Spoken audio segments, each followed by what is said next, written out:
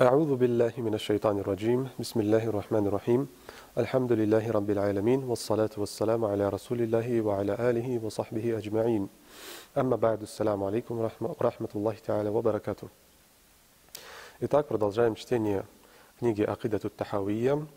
На предыдущем уроке мы остановились на словах имама Абу Джафара Тахави «Лейса камитлихи шей'ун ва хуа сами'у аль-басир» Это один из аятов Корана, одиннадцатый аят суры Шура. Один из самых основополагающих аятов Корана в отношении познания Аллаха, который говорит о том, что ничто не подобно Аллаху, и Он слышащий, видящий. Этими самыми словами имам Тахави закрывает начатую ранее им тему, одна из очень важных, принципиальных тем э, в вероубеждении Ахлю Сунна Валь Джама, то есть в суннитском вероубеждении. Тема, поднятая ранее, касалась э, природы сути, свойств, описаний, качеств Аллаха. И главное правило в отношении всех описаний, свойств, качеств, или, как по-арабски, сифатов Аллаха, это то, что все свойства, все сифаты Аллаха являются вечными. Никакой из них не является сотворенным, никакое из описаний Аллаха не является возникшим или изменившимся от возникновения творений. Потому что, как мы уже ранее говорили, Аллах является вечным Богом, а, соответственно, поскольку Он является вечным, то в Нем нет ничего из сотворенного.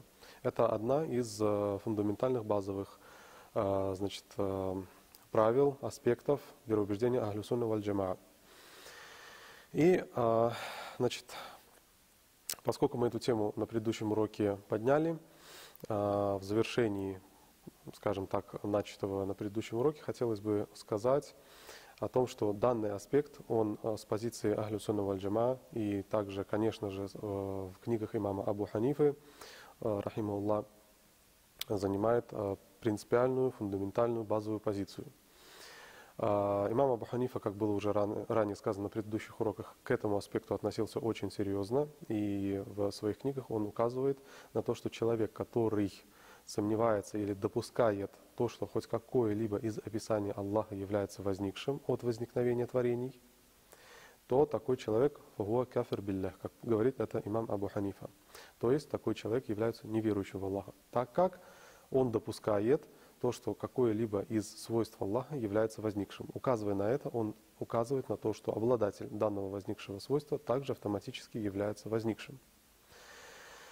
И поэтому данный принцип, данное правило, оно очень тесно также связано с той проблемой, которая существует в сегодняшний день, так как существует э, мусульманская такая группа, отклонившаяся, которые говорят о том, что Аллах э, изменился после сотворения этого мира. То есть до сотворения мира он существовал таковым, после возникновения этого мира он изменился, тем, э, изменился посредством того, что он поместился в сотворенный им мир. Тем самым у Аллаха возникли такие новые свойства, как нахождение на небе.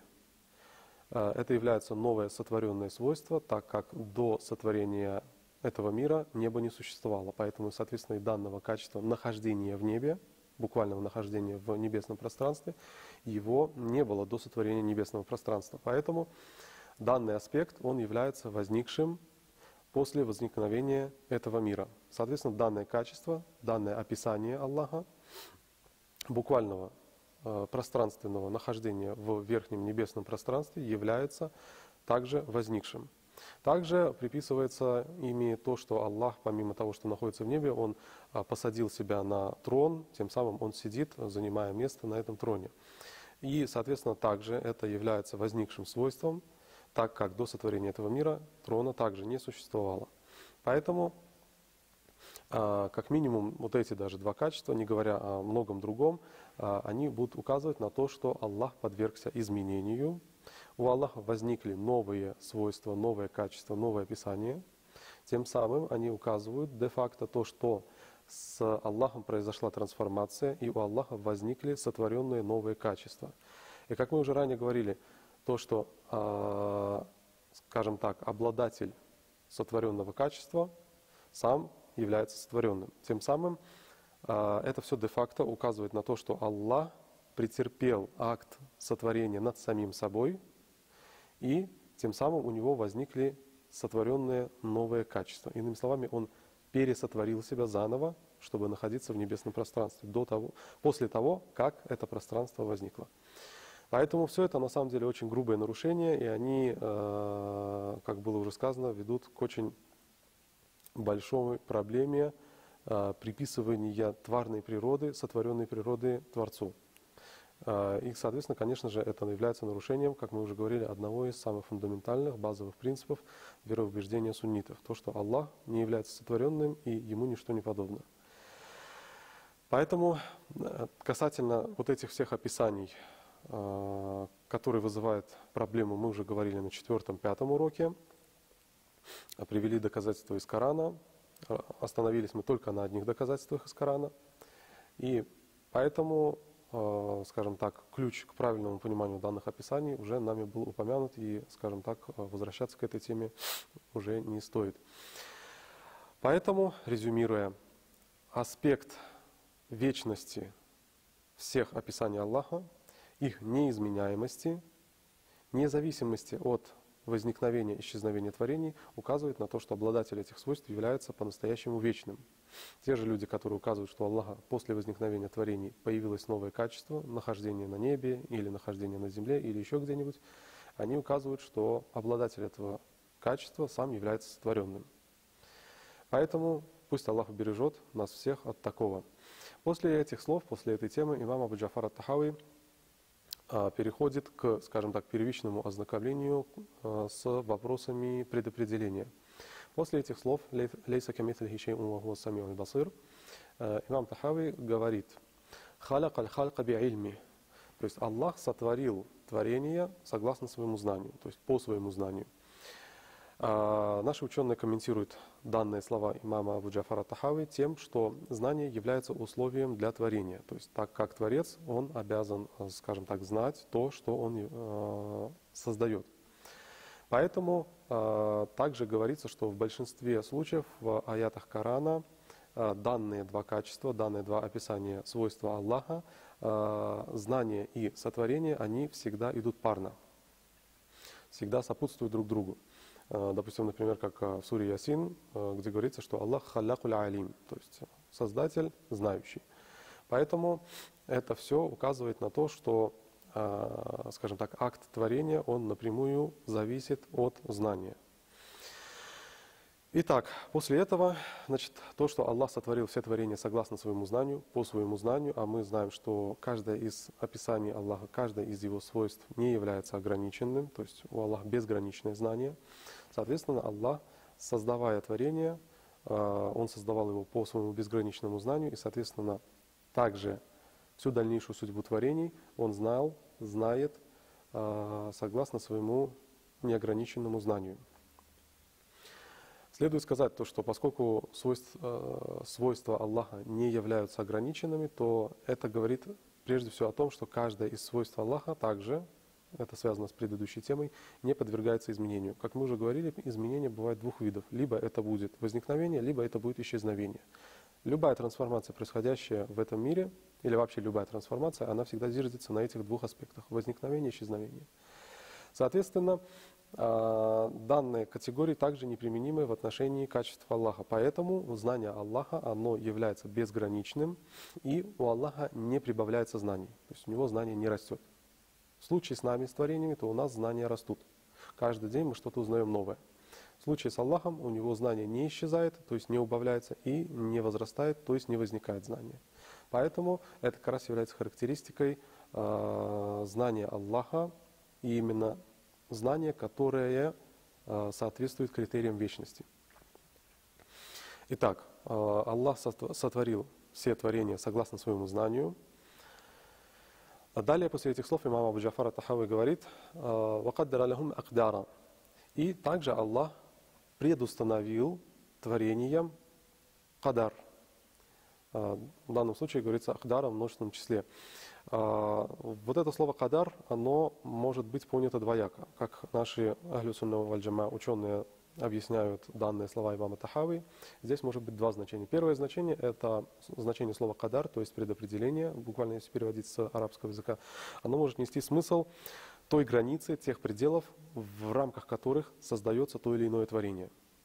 Это первое значение. Второе значение, и оно, скажем так, более, э, скажем так, э, широко употребляемое, и вероятнее всего имам э, Абу Джафара Тахавы именно это значение вкладывал, это значит, все то, что благое или плохое данное творение будет приобретать за время своего существования. Иными словами, судьба данного творения. То, что как раз-таки мы называем предопределением. Поэтому Аллах еще до акта творения предустановил судьбу каждого творения. Далее, после этих слов, имам Абу Джафар Тахави говорит, «Уадараб лахум аджаля». И также Аллах установил для каждого творения аджаль, то есть смертный миг, момент исчезновения, ухода в небытие. Поэтому, опять же, это является его предустановлением согласно безграничному знанию в извечности, до сотворения творений. И далее после этих слов имам Абу Джафар Тахави говорит, «Валям яхфа алейхи шай'ун кабля ан яхлюкахум». То есть от Аллаха ничто не было скрыто до того, как Он сотворил творение. Иными словами, Аллах абсолютно все знал о том, что будет касательно бытия сотворенного мира. И далее после этого имам Тахави говорит, «Валям яхфа алейхи шай'ун кабля ан яхлюкахум», как мы говорили, «Ва алима ма хум амилуна кабля ан яхлюкахум». И Аллах знал в извечности все то, что творения будут совершать, и Он это знал до сотворения этих творений.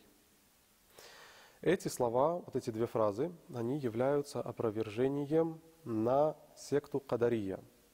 Теперь, когда мы уже подошли, скажем так, к детальным аспектам, следует сделать небольшое отступление и в целом рассказать, что э, понимается под предопределением у Ахлю Сунна Вальджама, а также у отклонившихся течений.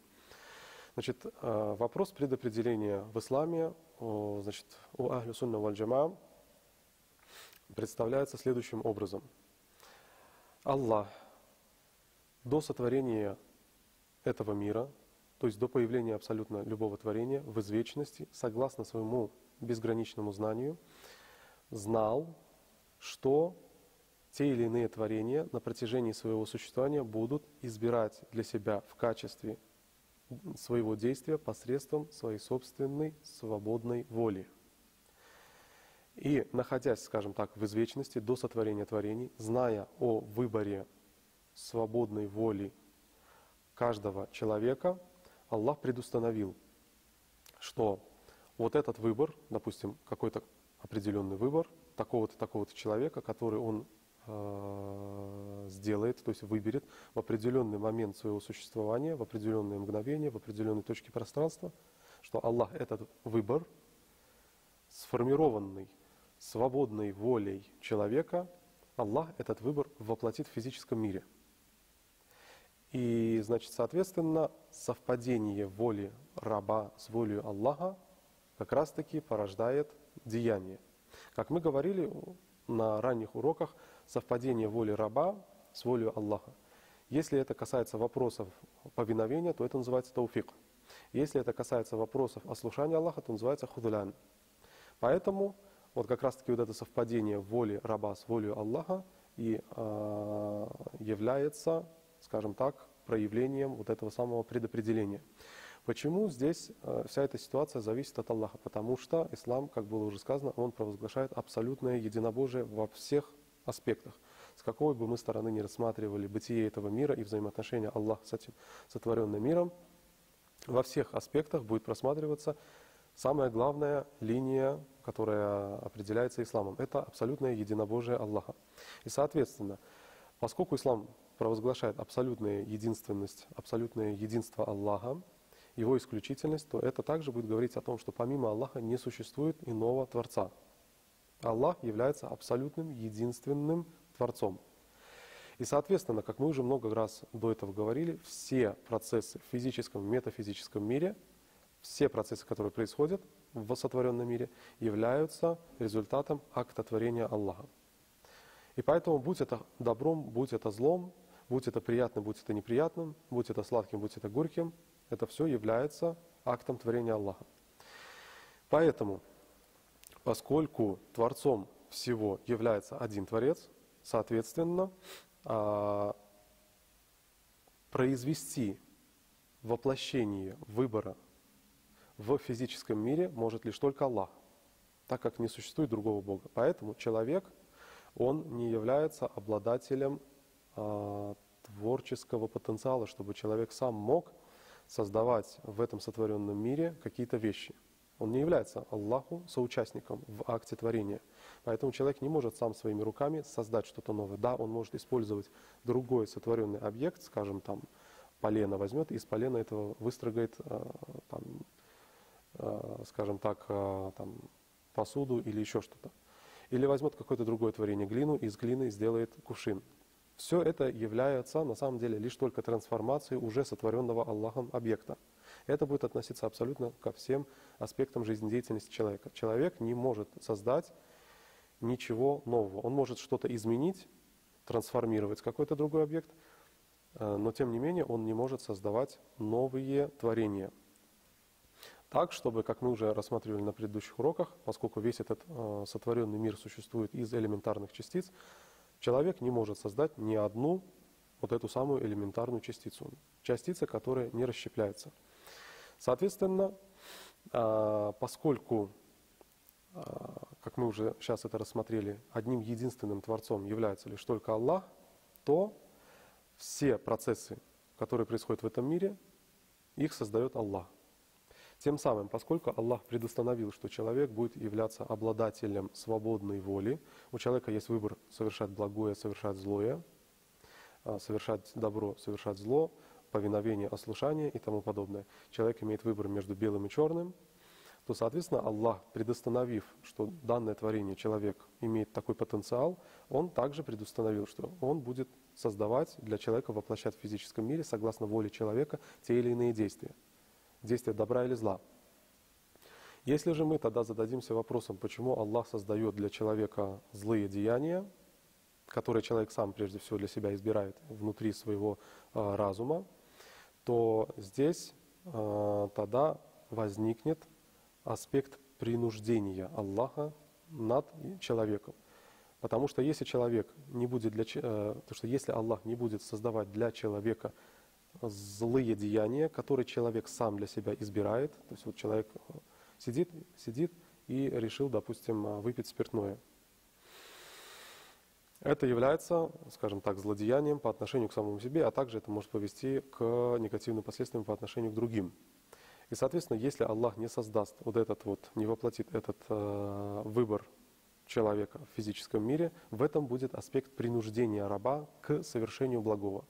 И тем самым тогда в таком случае человек не будет являться обладателем свободной воли. У него тогда в таком случае его воля, его воля будет представлена лишь только, скажем так, спектром благих деяний и он не сумеет совершать негативные деяния. Тогда природа свободы человека, она будет в этом смысле ограничена лишь только благими деяниями. И, соответственно, посредством этого человек тогда не будет являться именно тем, кем он является, то есть обладателем свободы воли, свободы выбора.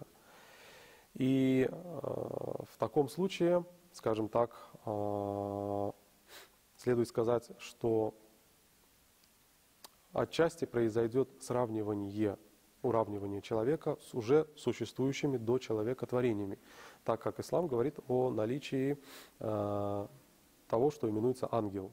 И согласно исламу, ангел – это бесплотное существо, которое умеет совершать только благое. В этом смысле воля ангела, она представлена лишь только спектром повиновения Аллаху. Ангел в априори не умеет ослушаться Аллаху.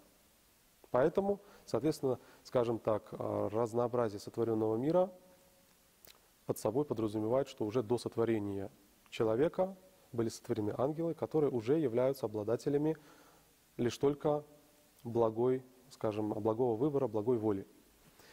И поэтому, э, поскольку указано, что человек э, создан, скажем так, со свободной волей, со спектром значит, выбора между добром и злом, то является тогда, а, скажем так, вполне объяснимым и понятным то, что Аллах а, воплощает для человека как благие, так и негативные, плохие а, решения человека.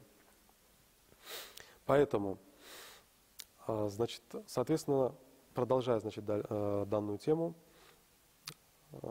можно подвести итог следующим образом, что Аллах, находясь в извечности, до сотворения этого мира, предустановил, согласно своему безграничному знанию, что те или иные э, решения человека, тот или иной выбор человека в определенный момент его существования, в определенной точке пространства и так далее, со всеми нюансами, обладая абсолютным знанием о бытии человека, каждое мгновение его бытия в качестве существующего в этом мире, Аллах предустановил, что тот или иной выбор человека Аллах воплотит в физическом мире.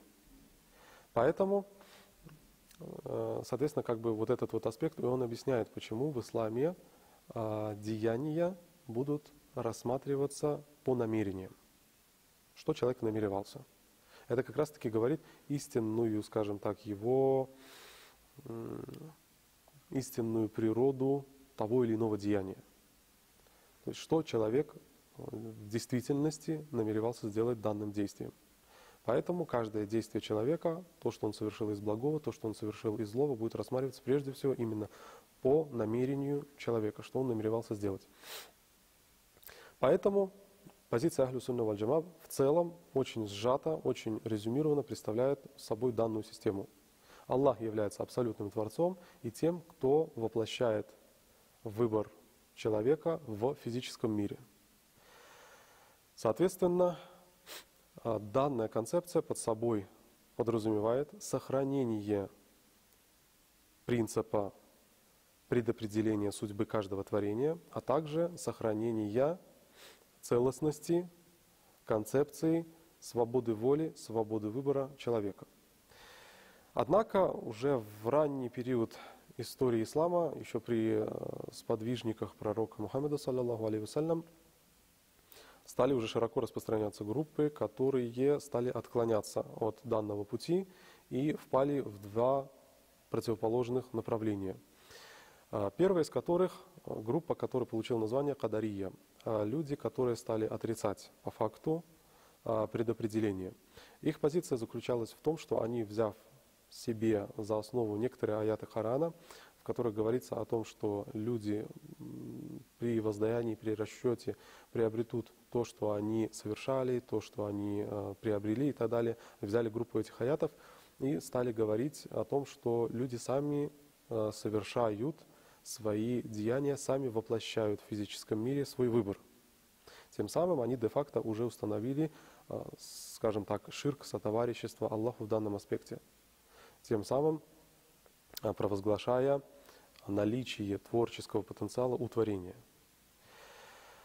А, и также они стали говорить о том, что предопределение можно изменить. Они говорили о том, что Аллах знает о судьбе творения лишь только в общих чертах. У него нет знания, как они говорили, тавсаили, то есть в деталях, что человек в определенный промежуток э, своего бытия, в определенное мгновение своей жизни выберет и, э, скажем так, воплотит.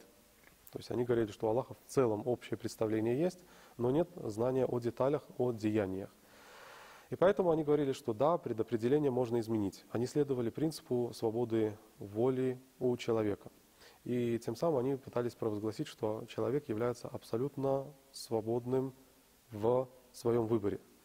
И как мы ранее рассмотрели, позиция Ахлюсунна Вальджама также говорит о том, что позиция значит, э, выбора, спектр выбора у человека, он также является свободным. Человек может выбирать добро, человек может выбирать зло. Либо то, либо то Аллах воплотит ему в физическом мире. Однако Кадария говорили, что Аллах, э, э, говорили, что человек способен выбирать любое действие, способен его воплотить в физическом мире, и поскольку он может изменять предопределение посредством своего акта творения – Э, они утвердили в отношении Аллаха невежество. Как это все дело выглядит? Они говорили, что да, человек является обладателем, э, скажем, силы, он может менять, э, скажем так, эту реальность, он может производить сам свои действия, и он может изменить предопределение. Поэтому они говорили, что да, Аллах в извечности что-то знал, и он, скажем так, согласно своему знанию установил Э, обладал информацией, что какой-то определенный человек на каком-то определенном этапе своей жизни совершить такое-то деяние. У Аллаха было в извечности знание об этом. Однако человек данный, дойдя до вот этого самого мгновения, когда он, согласно извечному знанию, должен был совершить некое деяние, он поменял предопределение и совершил другое деяние. Тогда в данной системе устанавливается невежество Аллаха, так как его знание в извечности о том, что намеревался совершить человек, является ошибочным, так как человек совершил в конечном счете новое деяние, то, что не было предусмотрено в извечности Аллахом. В таком случае данная позиция, она утверждает невежество Аллаха. Поэтому мы как видим, что позиция Кадария, она э, содержит спектр грубых таких нарушений. Э, нарушение, значит, и отрицание по факту веры в предопределение, содержит приписывание Аллаху, де-факто приписывание Аллаху невежества, содержит приписывание э, творениям обладание творческим потенциалом, тем самым устанавливая сотоварищей Аллаху в вопросах акта творения. Поэтому, значит, это была одна крайность, которая возникла в ранний период. И также возникла другая крайность, которая занимала абсолютно противоположную позицию по отношению к группе Кадария. Группа, которая получила название Джабрия. А Джабрия, значит, как было сказано, они уже занимали противоположную позицию, и, значит, их взгляды были представлены следующим следующей системы. Они говорили о том, что Аллах предустановил, предопределил в извечности абсолютно все деяния для своих э, творений. И Он это предустановил, решил своей волей за эти творения, что они будут совершать. И свой собственный выбор воплотил в физическом мире. Поэтому они говорили о том, что у творений нет никакого выбора. Все то, что творения совершают, они совершают не по своему выбору, а по выбору Аллаха. То есть Аллах создал определенного человека, и Аллах решил за этого человека, какие действия он будет совершать. То, что Аллах сам решил за этого человека, Аллах также воплотит в физическом мире. И все это Аллах также будет судить и воздаст добром или злом в судный день. Тем самым можно так сказать, что эта группа установила, что творения являются своего рода марионетками. Аллах за них, за них решил, Аллах за них воплотил, и Аллах будет за это их судить. И поэтому, говоря уже, скажем так, э, более конкретно, так, чтобы показать наглядность их взглядов, они говорили о том, что нет разницы между афайлюль ихтиярия и афайлюль эттарария. То есть деяния ихтиярия – это выборочные деяния, и афалюль иттирария – действия э, вынужденные. Действия избираемые – это такие действия, как встать или сесть, пойти или не пойти, посмотреть или не посмотреть, совершить намаз или не совершить намаз. Афалюль иттирария, то есть э, деяния вынужденные, это такие, как, допустим, сердцебиение. То есть человек, он никак не может повлиять на свое сердцебиение. Поэтому, резюмируя рассмотрение наше, можем сказать, что позиция Ахлю Сунна Валь это является ровной серединой между взглядами Кадария и Джабария.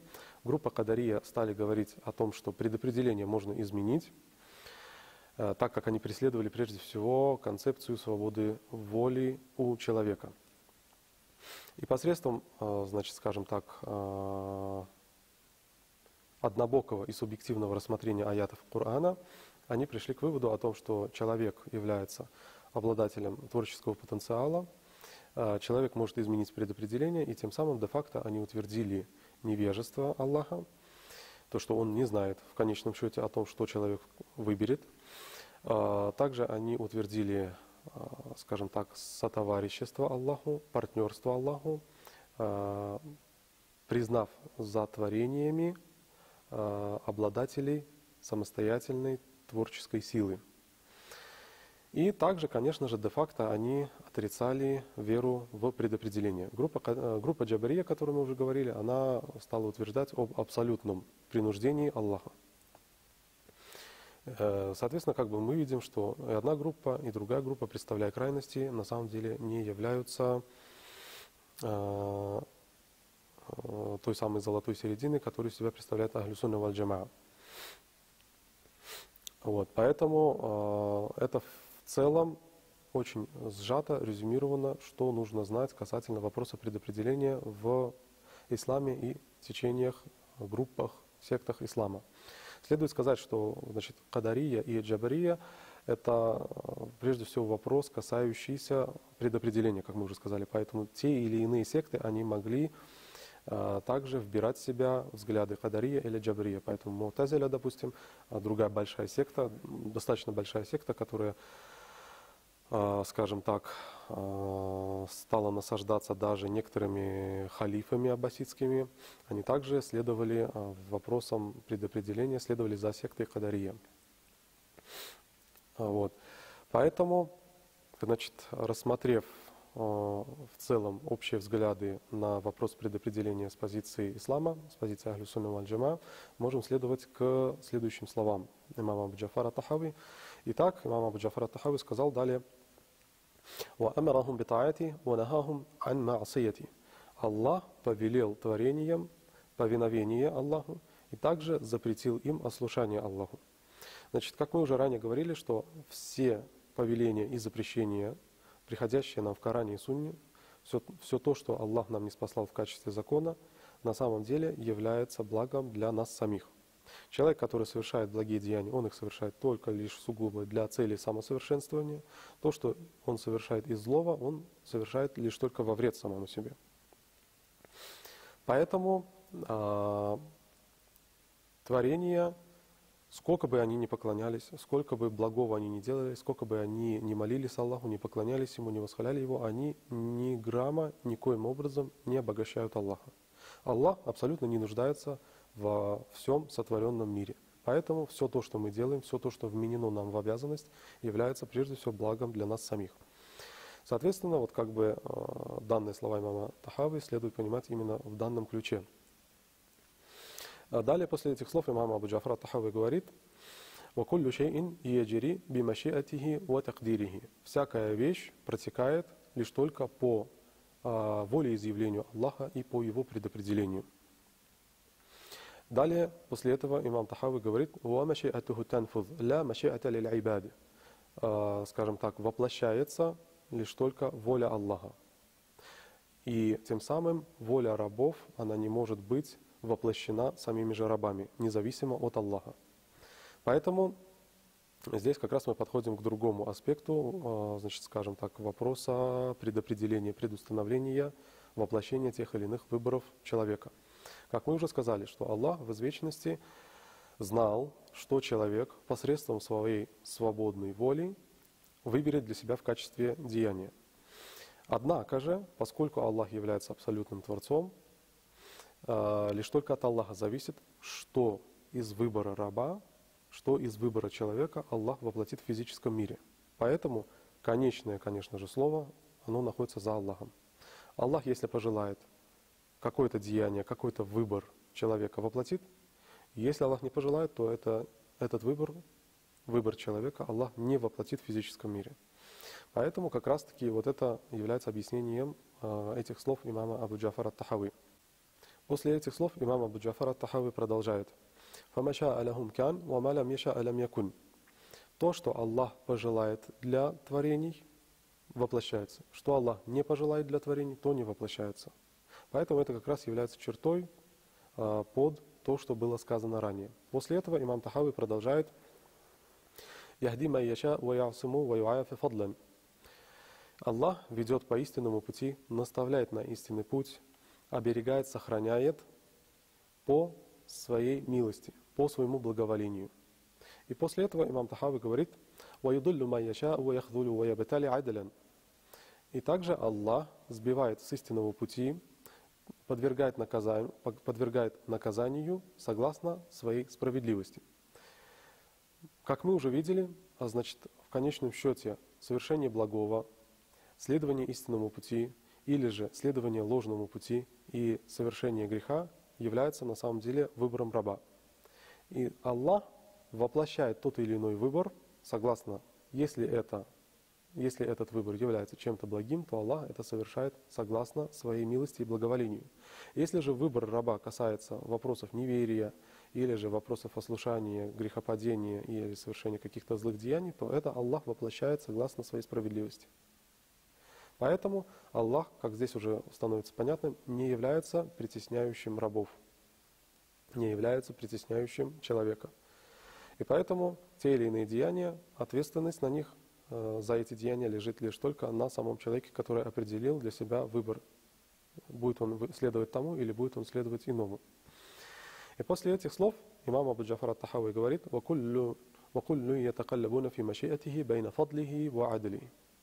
И абсолютно каждый, он находится в, скажем так, в, по пути воли изъявления Аллаха между э, милостью Аллаха и его справедливостью. Поэтому, скажем так, вот то, что было нами ранее сказано, в сегодняшний день это является, скажем так, э, первичным ознакомлением с э, вопросами предопределения. К этой теме имам Абу Джафар Тахави будет, э, скажем так, возвращаться еще на протяжении всей своей книги, и данный аспект он будет рассматривать более, скажем так, детально. Вот. И также более четкие, скажем так, формулировки, они будут приведены ближе к середине и к концу этой книги. Значит, э, как мы уже сказали, поскольку Аллах, поскольку только Аллах является одним единственным Творцом в этой Вселенной, соответственно, наряду с Аллахом нет иного Творца для того, чтобы помимо воли Аллаха воплощать свою какую-то собственную волю. Иными словами, воплощается в физическом мире лишь только воля Аллаха. И поэтому то, что Аллах решил воплотить из выбора человека то, что Аллах решил, то и будет воплощаться. И это как раз-таки связано с последующими словами имама Абу Джафара Тахави, в которых он говорит в отношении Аллаха «Вахуа мути'али аниль аддади валяндади». То есть Аллах, невозможно, чтобы с Аллахом сосуществовали противоположные Аллаху или же равные Аллаху. Этими словами, опять же, как раз-таки подтверждается а, озвученный ранее смысл – то, что абсолютным Творцом, абсолютно единственным Богом является лишь только Аллах. Поэтому наряду с Аллахом нету противоположного Бога, тем самым представляя концепцию дуализма, хорошего и плохого Бога. Также нету наряду с Аллахом равного ему Бога. Поэтому нет никого другого, кто мог бы воплощать э, чью-то волю помимо воли Аллаха. После этого, после этих слов имам Абу Джафар Тахави говорит – ля радда ли кадайхи, валя муаккаба ли хукмихи, валя галиба ли амри. То есть это как раз-таки продолжение, скажем так, э, данного смысла, то, что э, нет никого, кто мог бы остановить, отразить решение постановления Аллаха. Э, нет никого, кто мог бы одолеть предостановление, предопределение волеизъявления Аллаха. Поэтому здесь говорится как раз-таки о том, что не существует никакого другого лица, который мог бы войти, в, скажем так, в, скажем так, в борьбу с Аллахом а, за воплощение той или иной воли. То есть вот здесь как раз-таки идет, а, скажем так, опровержение позициям дуализма. То есть, как мы уже на ранних уроках говорили, дуализм из себя представляет наличие, скажем, богов антагонистов, хороший и плохой бог – и, соответственно, как бы их э, борьба, она вот будет представлять себя как раз-таки то, что опровергает э, имам Абу Джафара Тахави в своих словах о том, что не существует никакого другого лица, который будет являться обладателем своей силы, мощи наряду с Аллахом. Так, чтобы он, будучи обладателем своей силы, мощи и творческого потенциала, смог бы остановить, отразить предопределение предостановления Аллаха, или же каким-то образом э, изменить отсрочить, отодвинуть решение Аллаха или как-то изменить, или как-то даже повлиять на волеизъявление Аллаха. А, это все, конечно же, возвращается к вопросу о единственности Творца. Поэтому, как мы говорили касательно, скажем так, рациональных э, таких ходовых доказательств в сторону единственности Творца, это же как раз-таки упомянутый ранее нами так называемый далилю таману, э, доказательство противопоставления воли, можно так сказать. Э, как мы уже говорили, это выходит из одного из аятов Корана, где говорится о том, что если бы наряду с Аллахом существовали бы другие боги, то небеса и земля Э, пропали бы, исчезли бы. Это говорит о том, что столкновение воли различных богов бы произошло. И как мы уже говорили, что столкновение воли э, значит, различных богов, оно приведет э, к значит, двум аспектам. Значит, как мы уже говорили, согласно данному доказательству, если некто заявляет, что богов более чем один, то есть богов два или более, два, три, четыре и так далее, то тогда следует задать вопрос, о том, что могут ли данные боги в одном и том же объекте создать противоположные акты творения. А, конечно же, это невозможно, так как, скажем так, создание в одном и том же самом объекте противоположных актов творения де-факто будет являться а, единственным противоположностей. Понятно, что это абсурд и это невозможно. Тогда в таком случае произойдет доминирование воли одного из творцов. Соответственно, тот доминирование, что произошло, э, тем самым утвердил, скажем так, ограниченность, несостоятельность, немощность второго Бога. Тот, кто является обладателем таких качеств, то есть несостоятельность, немощность, ограниченность, не является Богом. Поэтому это, скажем так, э, вкратце напоминание тем вопросам, которые были рассмотрены на предыдущих уроках. Итак, в завершении начатой сегодняшней темы касательно предопределения, мы должны понимать, что Аллах является абсолютным Творцом, нет другого Творца наряду с Аллахом. Все процессы воплощения в данном физическом мире являются производимыми Аллахом. Аллах в извечности, согласно своему безграничному знанию – знал, что тот или иной человек выберет согласно своей свободной воле, и Аллах в извечности предустановил, что вот этот вот выбор Аллах либо создаст, либо не создаст. Это как раз таки является именно пониманием Ахлюсунного джама вопроса предопределения. Поэтому на данном, значит, скажем, этапе завершаем рассмотрение, скажем, первичное, прежде всего, рассмотрение вопросов предопределения в рамках этой книги Акида Тахавия. Альхамду лиллахи раббил алямин, вассалату вассаляму аля расулиллахи ва аля алихи ва сахбихи аджмаин.